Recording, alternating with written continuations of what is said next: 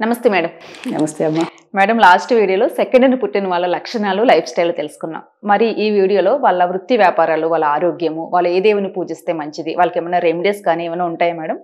తప్పకుండా అమ్మా మనం. ఎందుకంటే కిందటిసారి మనం ఏ నెలలో అయినా సరే రెండో తారీఖు కానీ పదకొండు ఇరవై ఇరవై తొమ్మిది తేదీలో పుట్టిన వాళ్ళవి బర్త్ నెంబర్ రెండు అనుకున్నాం కదా? ఆ రెండుకి చంద్రుడు అధిపతి అని కూడా చెప్పుకున్నాం. వీళ్ళకి అసలు ఎలా ఉంటుంది వీళ్ళ. వైవాహిక జీవితం ఎలా ఉంటుంది. చూద్దాం ఫస్ట్ అసలు. అంటే ఈ రెండో నెంబర్ వాళ్ళని ఎవరిని వివాహం చేసుకుంటే ఏ నెంబర్ గల వాళ్ళని వివాహం చేసుకుంటే బాగుంటుంది ఓకే వీళ్ళకి ఎలా ఉంటుంది చూస్తే కనుక వీళ్ళకి సహజంగానే వీళ్ళకి మంచి లక్షణం వీళ్ళకి ప్రేమించే స్వభావం ఎక్కువ ఉంటుంది అనుకున్నాం కిందటిసారి. అవును. అదే విధంగా వీళ్ళకి ఏంటంటే చాలా ఆనందంగానే ఉంటుంది. ఎందుకంటే సర్దుకుపోయే మనస్తత్వం వీళ్ళకి. ఉమ్, బేసికల్గా Hmm. ఎందుకంటే వీళ్ళకి బాగుంటుంది అంటే అదేంటండి ఎలా అంటారు అందరికీ బాగుంటుంది అంటే ఎందుకంటే వీళ్ళు బేసికల్గా ఎవరితో అయినా సర్దుకుపోతారు వాటర్ చూడండి ఏ ప్లేట్లో పోస్తే ఆ షేప్ వెళ్ళిపోతుంది. అవును. నీటికి ఉన్న సహజ తత్వం అనమాట. చంద్రుడు జలక కారకుడు. కాబట్టి వీళ్ళు సహజంగానే పాపం సర్దుకుపోతారు.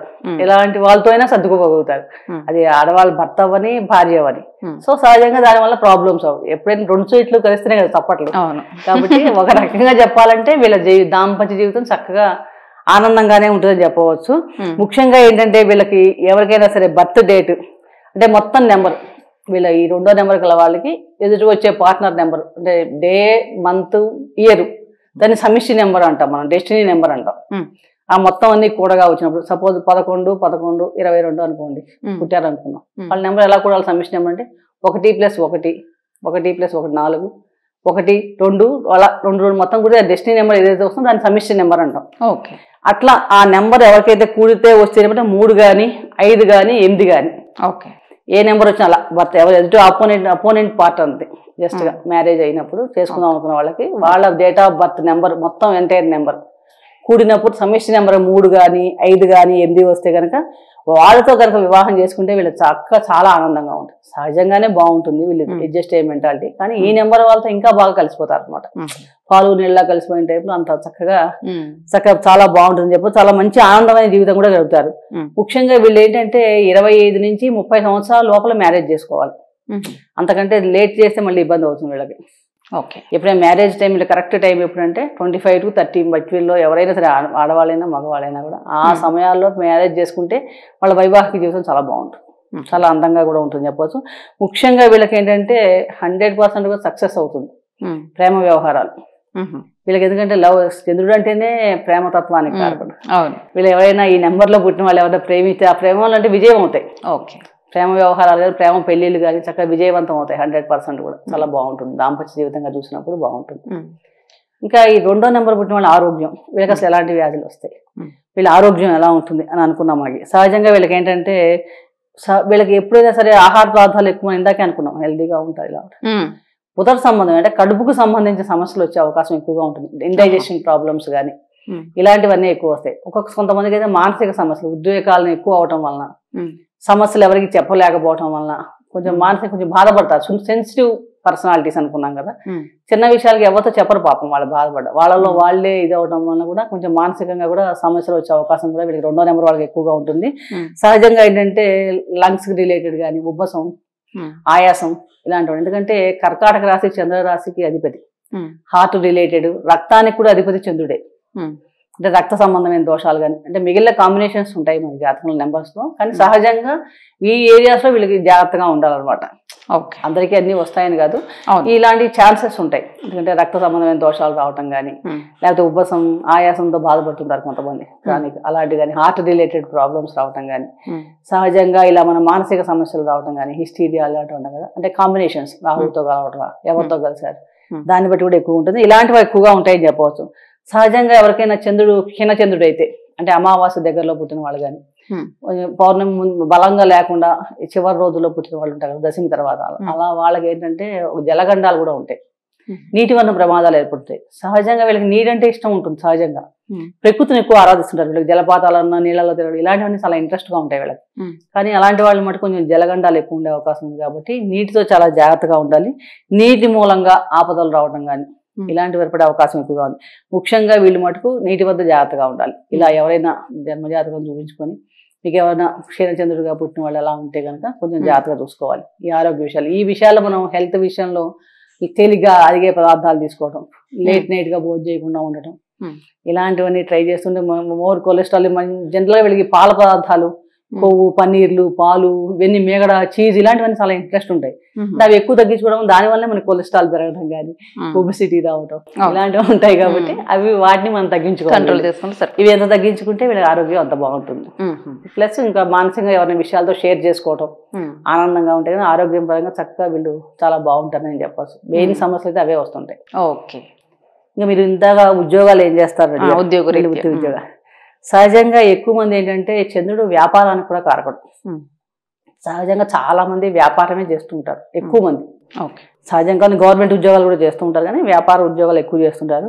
కానీ వీళ్ళకి ఏంటంటే స్వతంత్రంగా చేయాలి ఇండిపెండెంట్గా. ఎవరితో జాయింట్గా కలిస్తే పనికిరాదు.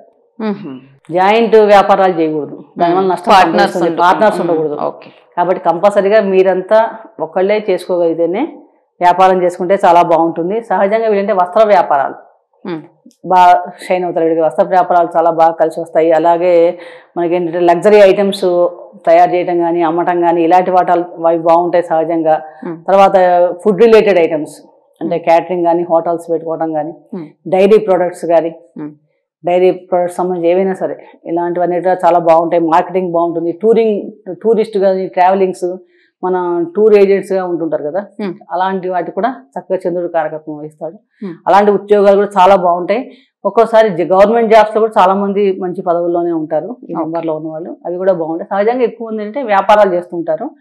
వ్యాపారాలు సింగిల్గా చేయాలి. అంతే తప్ప ఎవరితో జాయింట్ పెట్టుకుంటే అస్సలు పనికిరాదు వీళ్ళకి.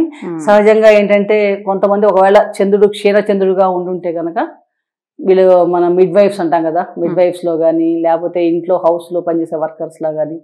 నేవీలో పనిచేసే వాళ్ళు నేవీలో షిప్పుల్లో పనిచేసే వాళ్ళు ఉంటారు కదా. అలాంటి వర్కర్స్ అలాంటి వాటి ఉద్యోగాలు కూడా ఎక్కువ జరుగుతూ ఉంటాయి. సహజంగా చంద్రుడు చాలా బలంగా ఉండి రాత్రిపూట పుట్టి ఉన్నారనుకోండి వీళ్ళకి. వీళ్ళకి నా చెప్పిన మంచి మంచి ఉద్యోగాలు వ్యాపారాల్లో బాగా కలిసి వస్తుంది. చాలా బాగుంటుందని చెప్పవచ్చు వీళ్ళకి సహజంగా ఏంటంటే నార్త్ డైరెక్షన్ చాలా బాగా కలిసి వస్తుంది ఓకే ఏ పని చేయాలో వచ్చినా నార్త్ వైపు కూర్చొని చేయటం కానీ అలా చేస్తే ఉత్తర దిక్కు వైపు కూర్చొని పని చేసే కార్యక్రమాలన్నీ ఏ పని చేసినా కూడా మంచి ఫలితాలు ఇస్తాయి అనమాట విజయవంతం ఎక్కువ అవుతారు. కాబట్టి మన ఉత్తర దిక్కు చూసుకొని పని చేయడం చాలా భయం వస్తుంది. వీళ్ళు సహజంగా ఏంటంటే ఒకవేళ క్షీరచంద్రుడిగా ఉన్నా ఇలాంటి సమస్యలు ఇందా చెప్పిన అనారోగ్య సమస్యలు ఏమైనా ఉన్నా ఈ జాబ్లో కలిసి రాకపోవడం వ్యాపారంలో నష్టాలు ఉన్నాయి ఇలాంటి వాళ్ళు ఎవరైనా ఉన్న వాళ్ళు ఏంటి చేయాలంటే ముత్యం. వీళ్ళకి చెప్పబడిన రత్నం ఏంటంటే ముత్యం. ముత్యాన్ని చక్కగా బంగారంలో చేయించుకొని సోమవారం నాడు చక్కగా శివుడి దగ్గర అభిషేకం చేసుకొని సోమవారం ధరించాలి. ఓకే ఆ ముత్యాన్ని ధరిస్తే గ్రహ దిశలు ఒకవేళ ఏమన్నా దోషాలు అలాంటివి ఉన్నా కూడా చక్కగా తొలుగుతాయి. దానివల్ల కూడా మానసిక ప్రశాంతత కూడా లభిస్తుంది అనమాట ఆ ముత్యం లాకెట్లో మనం చైన్లో లాకెట్ వేసుకోవచ్చు చేతికి ఉంగరంగా పెట్టుకోవచ్చు. కొంచెం ముత్యం ధరించడం కూడా చాలా బాగుంది. దానివల్ల అంటే వృత్తి వ్యాపారంలో మంచి డెవలప్మెంట్ రావటం కానీ అనుకున్నమైన జాబులు రావటం కలిసి రావటం మానసిక ప్రశాంతత ఉండటం ఇట్లాంటివన్నీ చక్కగా వీళ్ళకి చాలా బాగుంటుంది. అంటే ఇందాక చెప్పిన సమస్యలు లాంటి ఉంటే కనుక ఇలా పెట్టుకోవచ్చు అన్నమాట. ముఖ్యంగా వీళ్ళకి ప్రతి నెలలో కూడా పనికి అంటే ప్రతికూల డేట్స్ అంటాం కదా కొన్ని డేట్స్లో ఏ పనులు చేయకూడదు. అవి ఏంటంటే నాలుగో తారీఖు ఎనిమిది తొమ్మిది పద్దెనిమిది ఇరవై ఏడు. ఈ రోజుల్లో మటుకు ఎంత ముఖ్యమైన పనులు కూడా చేయకుండా ఉంటవే మంచిది. ఓకే. ప్రయాణాలు చేయకుండా కానీ ఏమైనా కొత్తగా ప్రారంభించడం కానీ ఇలాంటివన్నీ ఈ డేట్స్లో మనం చేయకుండా ఉంటే కనుక చాలా మంచిది వీళ్ళకి.